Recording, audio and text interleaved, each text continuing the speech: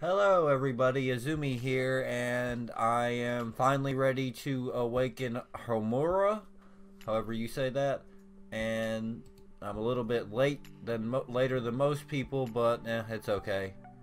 It was a holiday week, so I've been pretty busy. So here we go.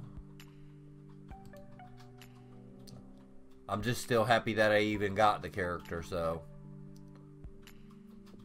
puts like a purplish aura coming off of her at the bottom. That's pretty cool.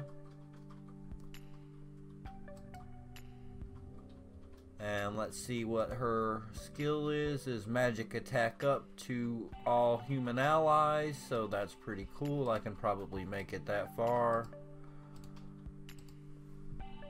To at least get the first one then I will be probably busy farming the rest of these large runes so I can max awakener as quick as possible. Um, I plan on using her in PvP is mainly my use for her, so yep, that's a to be a short video, not really a whole lot to say here. Um, I can show you the skills,